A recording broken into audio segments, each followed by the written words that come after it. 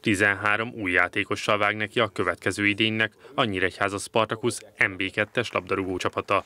Nagy József, Polényi Gábor, Nagy Tamás, Gulyás Máté, Fagyas Tamás, Daru Bence, Gyurján Bence és Bakos Szabolcs más csapatoktól érkeztek a keretbe, míg Hunor, Tóth Ádám, Starosta Dávid, Nagy Máté és végső előd a Nyíregyháza Spartacus Bozsik Akadémiájáról kerültek a felnőttek közé. Az új játékosokat a csapat hagyományos szurkolói ankétján mutatták be hivatalosan. Több utánpotásból felkerült játékosunk is nagyon jó benyomást keltett ránk, és mindenképpen nagy szerepet szeretnénk szánni nekik. Ami a keretkialakításban a fontos volt számunkra, hogy ezek mellett az utánpótláskorú labdarúgók mellett egy megfelelő rutinnal rendelkező gerincet tudjunk igazolni. Olyan játékosok legyenek a keretben, akiknek akár m akár feljutási rutinjuk van már.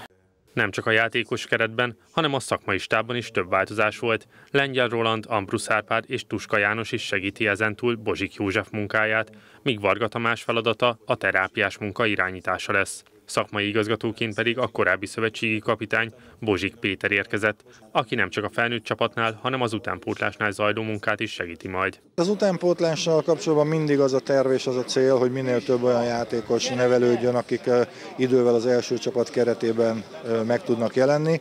Én örömmel mondhatom, hogy már most is van 5-6 olyan fiú, aki az akadémiáról jött, és az első csapat keretének a tagja lett. Én nekem az a véleményem, hogy egy egyesület, egy klub, egy csapat nem nézhet ki saját nevelésű vagy kötődő játékosok nélkül. Tehát csak kölcsönjátékosokra nem lehet egy csapatot építeni. Nagyon fontos az, hogy, hogy a mag, a gerinc az olyan legyen, aki kötődik az adott egyesülethez. Nyilván ez egy folyamat, ez nem megy egyik pillanatról a másikra, de mindenképpen ennek kell a célkeresztben lennie. Az akadémiának úgy kell dolgoznia, hogy minél több ilyen játékos tudjon az első csapat rendelkezésére bocsátani. Az ankéton az új stadion építéséről is beszámolt a Spari vezetése. Van itt egy kilátásban, ami már elfogadott tény, hogy itt fog készülni Nyíregyházán egy 8000 fős stadion.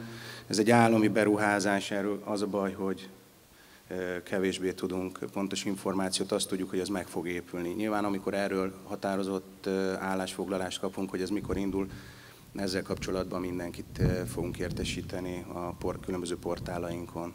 Orbán Viktor azt is kiemelte, ha a csapat reális célkütűzéseit nézik a bajnokságban, akkor az első hat hely valamelyikét szeretnék elérni. A Nyíregyháza vasárnap kezdi a szezont, 19 órától a Kazinc fogadja majd.